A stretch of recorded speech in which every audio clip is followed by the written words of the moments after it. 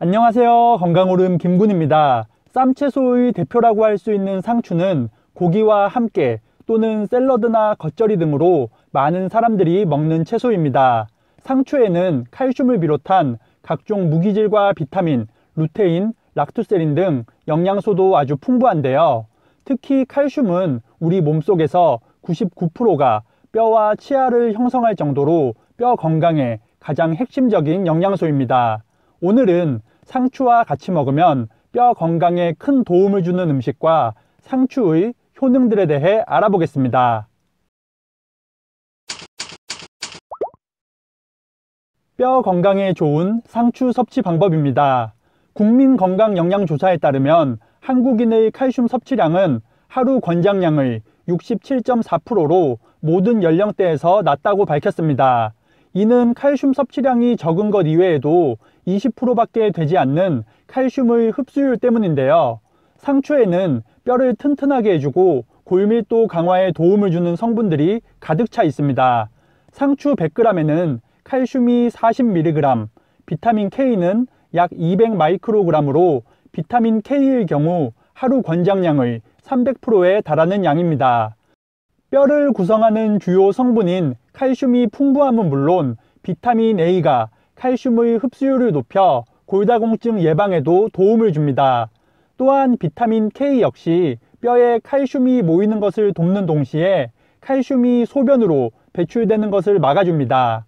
상추만 먹어도 뼈 건강에 좋은 영향을 주지만 더욱 효과적으로 먹는 방법이 있습니다.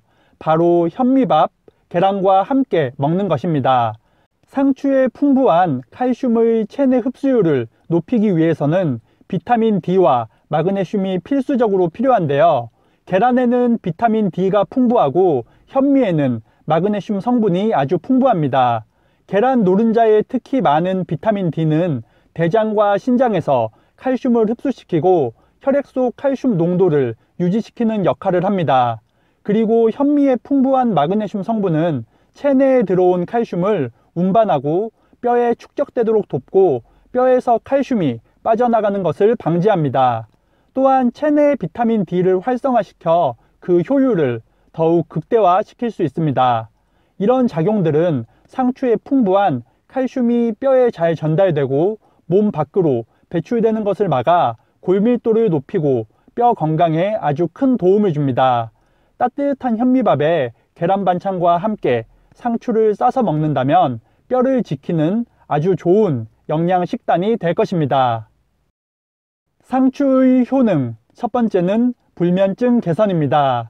상추의 효능 가운데 가장 대표적으로 알려진 것이 바로 불면증 개선입니다. 상추 줄기에는 락토칼리움 성분이 풍부해 신경 안정과 불면증 개선에 효과적인데요. 이 성분은 뇌에서 수면 호르몬으로 불리는 멜라토닌의 분비를 돕고 진정, 진해 효과가 뛰어나 숙면에 도움을 줍니다. 이 외에도 상추의 꾸준한 섭취는 스트레스 완화와 심신 안정에도 뛰어난 효과가 있으니 저녁에 상추를 드시는 것이 좋겠습니다. 두 번째는 변비 개선입니다.